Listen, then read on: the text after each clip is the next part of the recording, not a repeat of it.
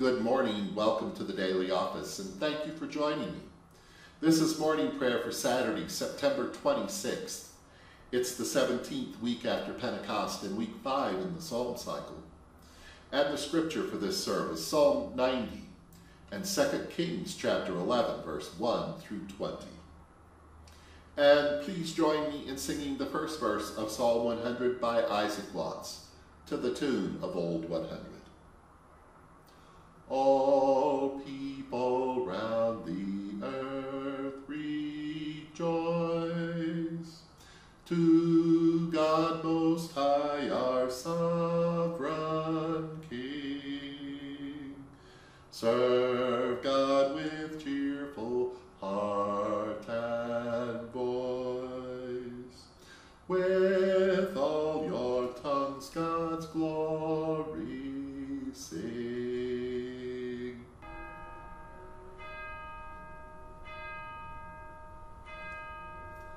Open my lips, my mouth shall declare your praise.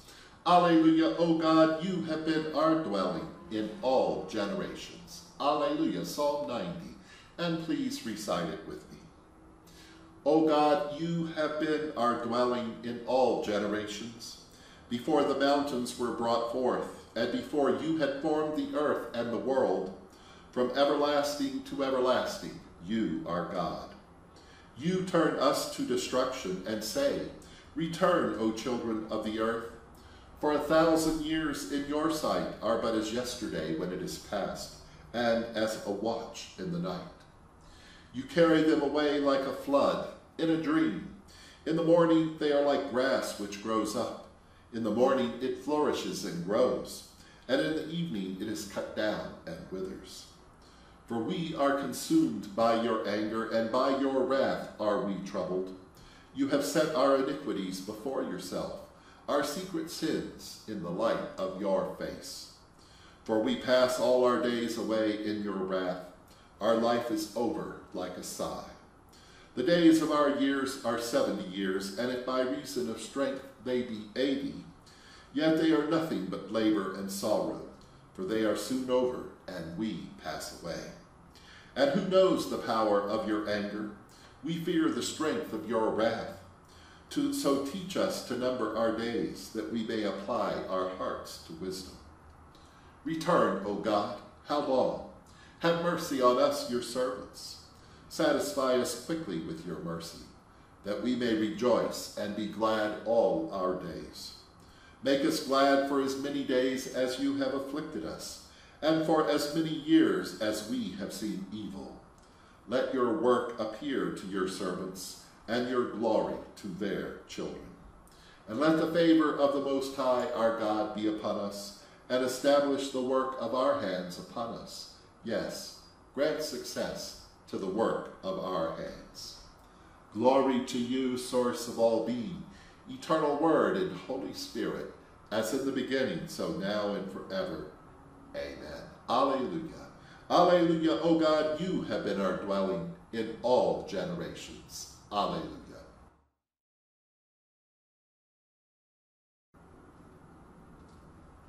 A lesson from the second book of Kings, chapter 11, beginning at verse 1. Now, when Athaliah, Ahaziah's mother, saw that her son was dead, she set about to destroy all the royal family. But Jehosheba, King Joram's daughter, Ahaziah's sister, took Joash, son of Ahaziah, and stole him away from among the king's children, who were about to be killed. She put him and his nurse in a bedroom, and thus she hid him from Athaliah, so that he was not killed. He remained with her six years hidden in the house of Yahweh, while Athaliah reigned over the land. But in the seventh year, Jehoiada summoned the captains of the Carites and of the guards, and had them come to him in the house of the Most High. And he made a covenant with them and put them under oath in the house of the Most High. And then he showed him them the king's son, and commanded them, This is what you are to do. One third of you, those who go off duty on the Sabbath and guard the king's house, another third being at the gate Sur, and a third at the gate behind the guards, shall guard the palace. And your two divisions that come on duty in force on the Sabbath and guard the house of the Most High shall surround the king, each with weapons in hand. And whoever approaches the ranks is to be killed. Be with the king in his comings and goings. And the captains did according to all that the priest Jehoiada commanded. Each brought his men who were to go off duty on the Sabbath, with those who were to come on duty on the Sabbath, and came to the priest. And the priest delivered to the captains the spears and shields that had been King David's, which were in the house of the Most High. The guard stood, every man with his weapons in his hand, from the south side of the house to the north side of the house, around the altar and the house, to guard the king on every side. And then he brought out the king's son and put the crown on him, and gave him the covenant. They proclaimed him king and anointed him. They clapped their hands, and they shouted, Long live the king. And when Athaliah heard the noise of the guard and of the people, she went into the house of the Most High to the people. And when she looked, there was the king, standing by the pillar according to custom, with the captains and the trumpeters beside the king, and all the people of the land rejoicing and blowing trumpets. Athaliah tore her clothes and cried, Treason, treason.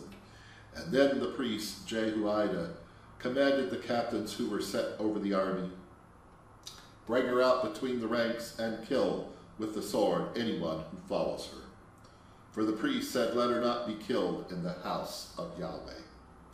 So they laid hands on her. She went through the horses' entrance to the king's house, and there she was put to death. And Jehoiada made a covenant between Yahweh and the king and people, that they should be the Most High's people, also between king and the people. Then all the people of the land went to the house of Baal and tore it down, his altars and his images. They broke in pieces, and they killed Mattan, the priest of Baal, before the altars. The priest posted guards over the house of Yahweh, and he took the captains, the Carites, the guards, and all the people of the land. And then they brought the king down from the house of the Most High Yahweh, marching through the gate of the guards to the king's house. And he took his seat on the throne of the kings. So all the people of the land rejoiced. Here ends the lesson.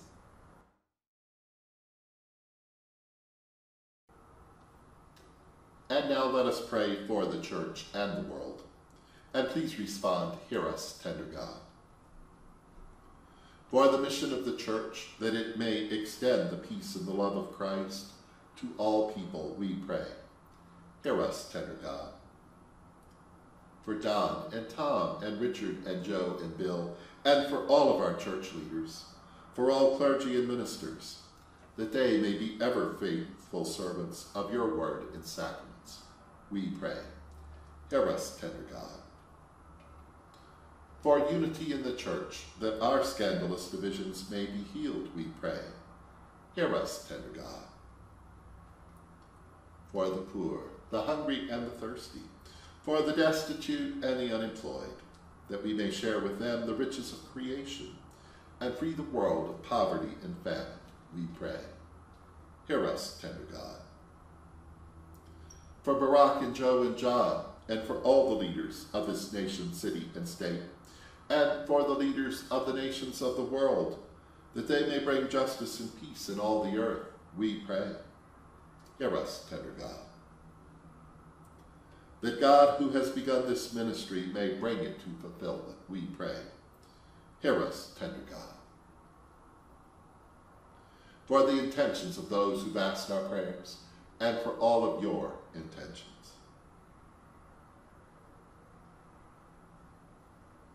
We pray.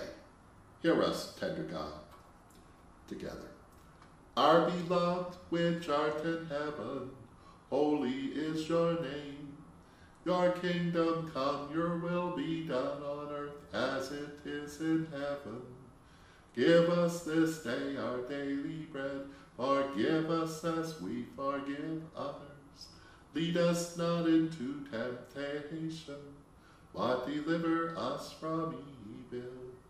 For the kingdom, the power, and the glory are yours, now and forever. Let us pray. Everlasting God, shine your favor and mercy upon us, and grant us success in the works of our hands. May wisdom ever grow in our hearts to the glory of your name. Amen.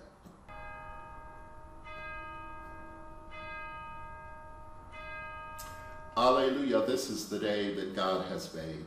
Let us rejoice and be glad in it. Alleluia. And glory to God, whose power working in us can do infinitely more than we can ask or imagine. Glory to God from generation to generation, in the church and in Christ Jesus, now and forever. Amen. Alleluia.